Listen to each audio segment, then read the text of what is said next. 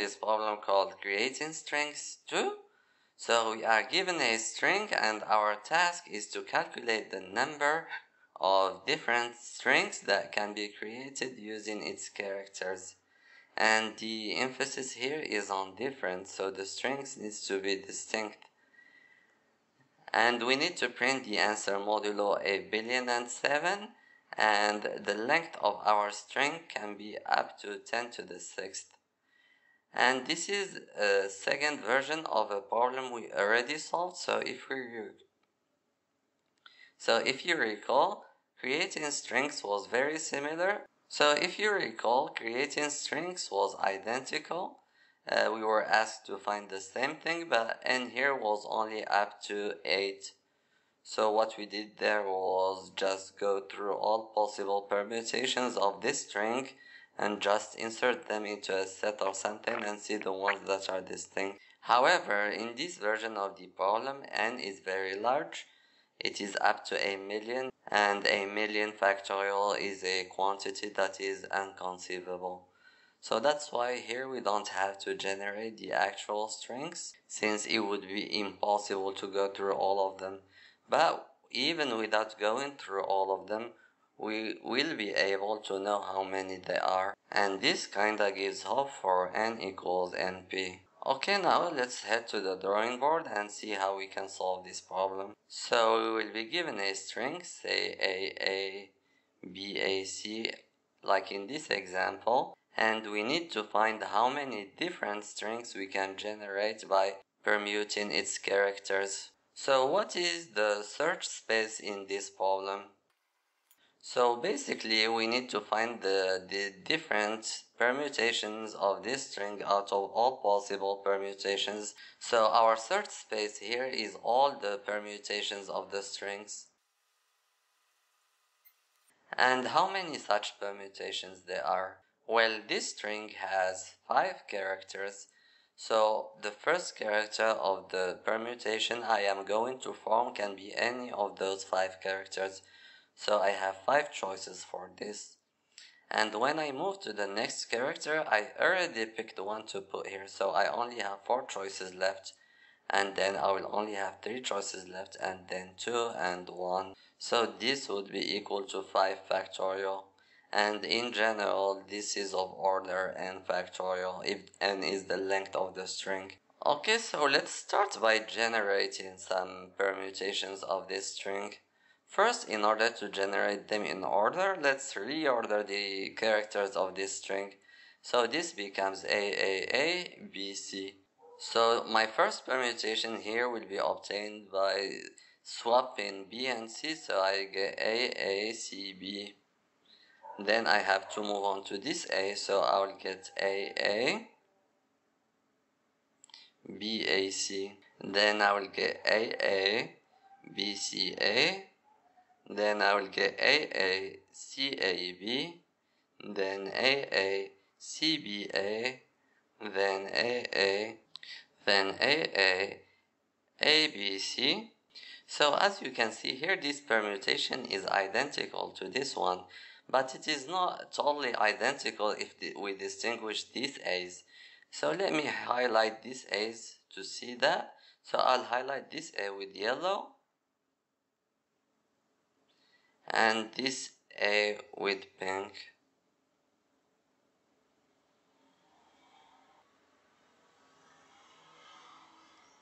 So we, when we will get to this permutation, we say that this whole suffix is in uh, decreasing order.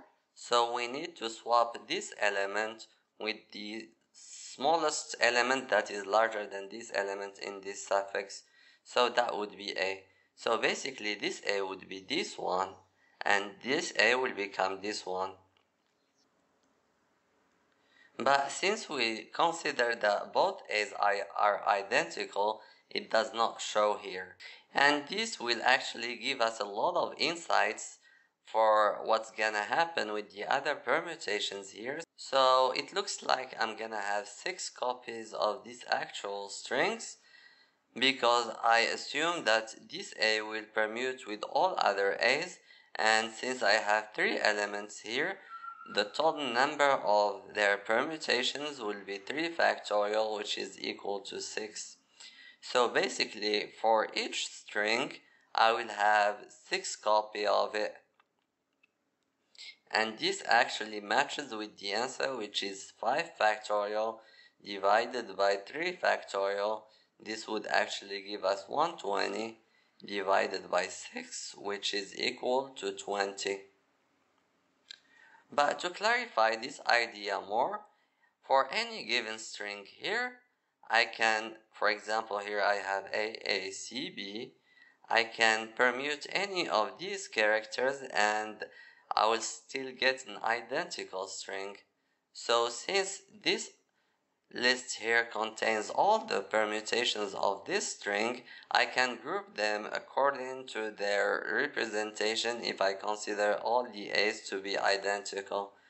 And that means that any permutation of these a's will be seen as identical and then I can ask myself how many ways are there to permute these a's and that would actually be equal to 3 factorial. And since I only have one copy of C and one copy of B, so there is only one way to permute the occurrences of C and one way to commute the occurrences of B. So this would actually be equal to 5 factorial divided by 3 factorial times 1 factorial times 1 factorial. So in general, we can deduce two things. First, if all characters are distinct,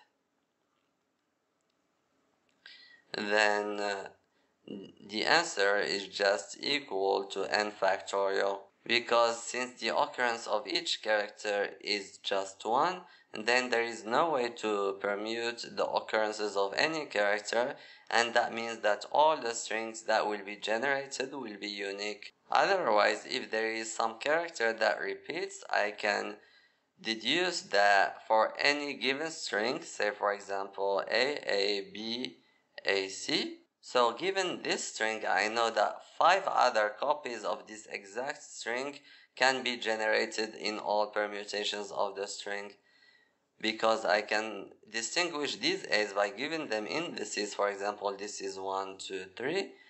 Then I, I know that in some permutation, this exact string occurs with the uh, indices of the A's switched. For example, I know that there is an A2, A1, B, A3, C string. And I also know that the four other versions also exist. So that's why I need to divide this n factorial by the factorial of the occurrences of each string. So I'll divide this by the occurrences of letter factorial for each letter in alphabet. And this actual formula also has another name which is the multinomial coefficients and it is stated like this. So if we have x1 x2 up to xk non-negative integers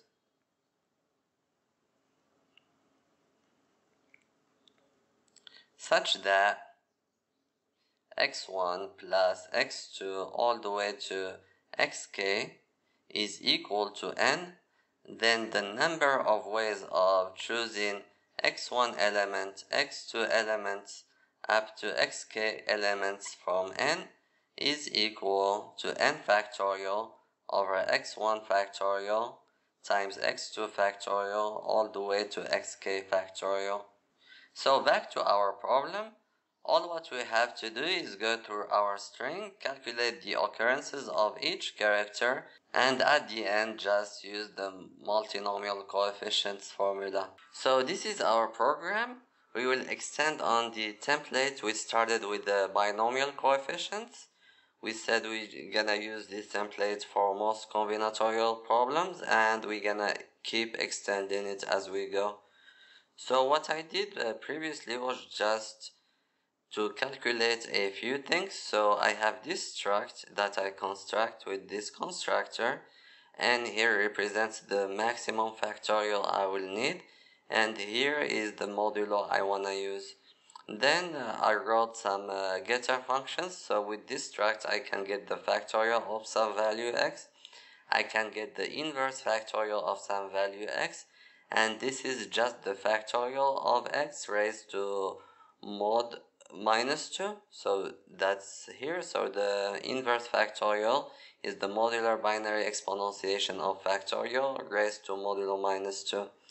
And we said that we raised this to modulo minus 2 because it is our way of bringing something from the denominator to the numerator. Basically, the modular inverse of some number, if it is coprime with the mod, is equal to that number raised to mod minus 2. So that's exactly what we did here. And this allowed us to have these getter functions. We also defined the binomial coefficient which is just a factorial divided by b factorial times a minus b factorial. So that's what we have here. We have factorial times inverse factorial of a minus b times inverse factorial of b. And now we're gonna write another getter function and it is for the multinomial coefficients we just saw here. And we're gonna pass it a vector of ints that represents the buckets. So as we said here, if we have x1, x2 up to xk equal to n, then their multinomial coefficient would be just n factorial divided by their factorials. So that's exactly what we're gonna do here. So we're gonna calculate the sum first. I'm gonna look through all the buckets and sum up their values.